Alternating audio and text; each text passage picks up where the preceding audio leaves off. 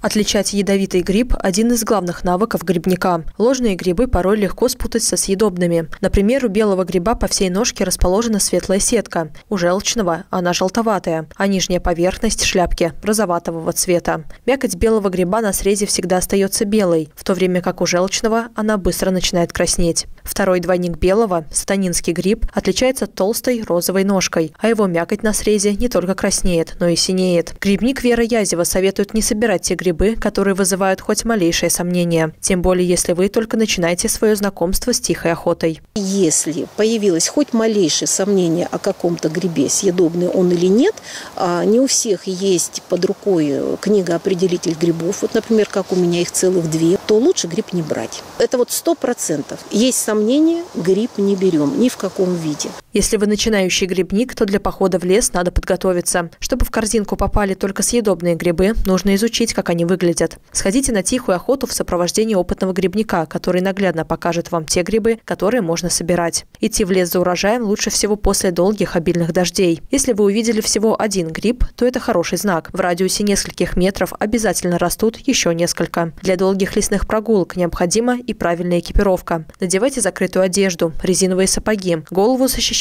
кепкой, панамой или платком. Во время тихой охоты Вера Язева советует использовать палку. В наших лесах и в окрестностях Сарова все-таки водятся ядовитые змеи, гадюки, угу. да, и когда, например, мы идем по лесу и, например, видим гриб, то мы, например, его не сразу рукой срубаем, да, а немножко там палочкой траву раскрываем, и во избежание того, чтобы ну, не встретиться со змеей. Вот. Еще палочка очень удобна, особенно осенью идешь, очень много паутины.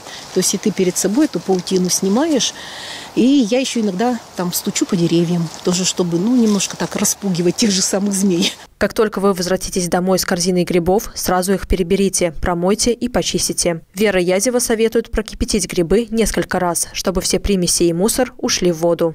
Я отвариваю грибы все. Э, иногда даже, когда, ну, уже это просто моя такая особенность. Я иногда даже два раза отвариваю, то есть две воды меняю.